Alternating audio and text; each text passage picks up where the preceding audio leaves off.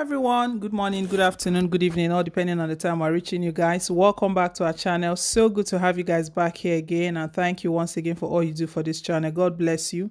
We pray that even as you support this channel god almighty will support you in whatsoever you lay your hands to do. In jesus name amen. Thank you once again guys.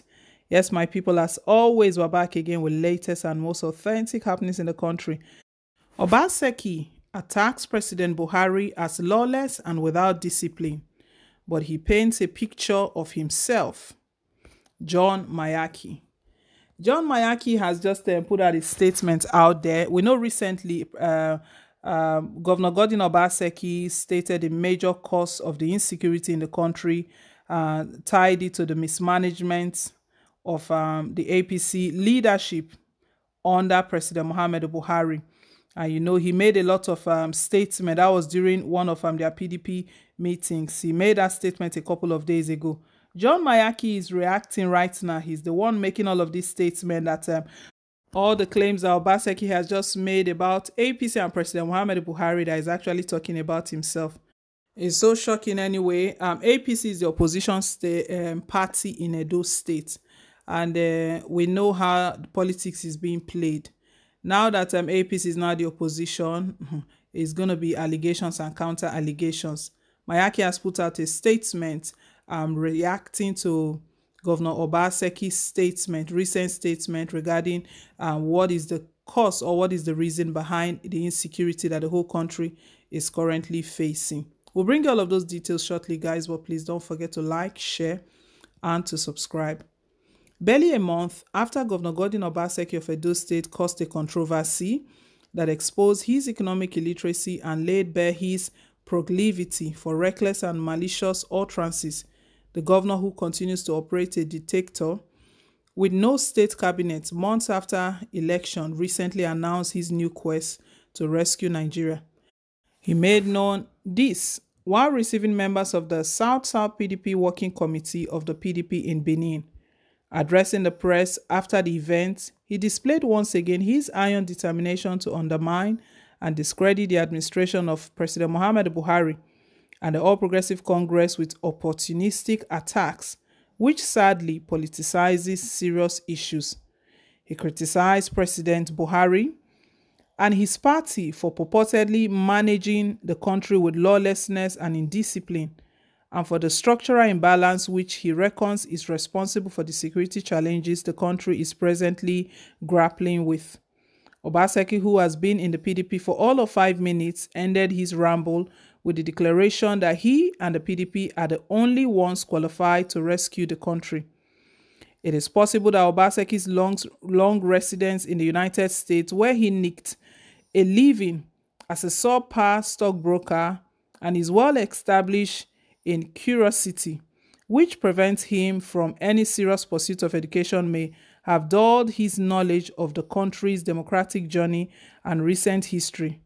But for the sake of the public who may be misled by his politically motivated rants, disguised as earnest criticism, will never tire of setting the record straight with hopes that he may himself learn a lesson or two.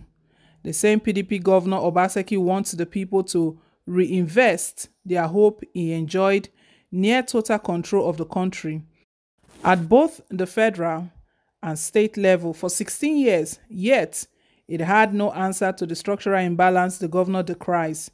It did not even try. Instead, the party further weakened and hollowed out the security institutions with mindless corruption that shook the world refusing to fund security agencies, the PDP instead tainted them with partisan bias, a legacy Obaseki has continued in Edo State following credible allegations of mismanagement of security votes and the abuse of state agencies as instruments of oppression and vendetta. Reports of the PDP's contribution to the proliferation of small arms and light weapons in the country are also in abundance, with a detailed description of how non-state actors were armed and empowered across the country to serve as lieutenants and field enforcers of their infamous do or die politics. It was so bad, a president elected on the platform of the party admitted that the election that produced him was not free and fair.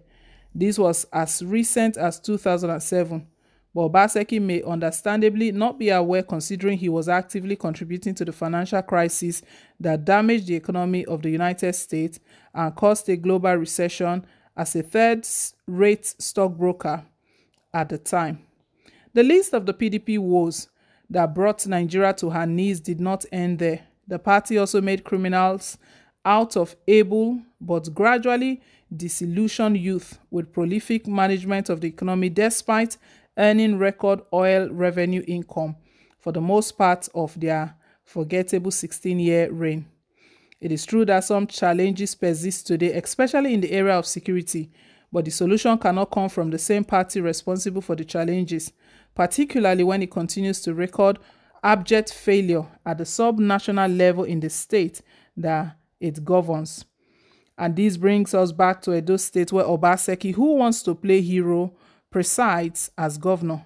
Notable in the statement of the governor is a barefaced lie that Edo State is relatively peaceful. If anyone wants to prove that the claim is a shameless and unnecessary lie, there is more than enough on the governor's own social media pages where his handlers have put a work rate that exceeds with the daily deletion and restrictions of comments from angry and aggrieved citizens. Families in Edo State are still mourning their loved ones lost to the widespread killings, adoption, and daylight robberies recorded in virtually all parts of the state, including the capital city of Benin, where mobile money operators were forced to halt operations following targeted attacks and killings. These were all reported in the media, including the press conference called by the state chapter of the Nigerian Medical Association and the Nigerian Bar Association at the end of last year to lament rising insecurity in the state. For all intents and purposes, the record of Obaseki in Edo State is that of abject failure. Schools are under lock and key. Trade has slipped into negative growth. Debt continues to pile high. And democracy has been imperiled with an arm of government reduced to literally rubble. Yet the man who supervised all of these wants to rescue Nigeria. It is a classic case of a man adorned in rags, sitting pompously and making loud promises of bespoke outfits to others. Governor Baseki needs to give it a rest. Attack on Buhari and APC will neither deflect attention from his glaring failure nor excuse them. John Mayaki has just um, replied um, Obaseki after Obaseki um, stated the cause of insecurity. John Mayaki is the uh, spokesperson of the All Progressive Congress APC. And um, he has spoken on behalf of um, APC that Obaseki should stop criticizing President Muhammad Buhari. He has stated a lot. He stated a lot. Um, guys, let's hear your own take. Let's hear what you think down below in the comment section. Thank you once again for staying tuned. Please don't forget to like, share, and to subscribe. Till I come your way again with more updates. Bye.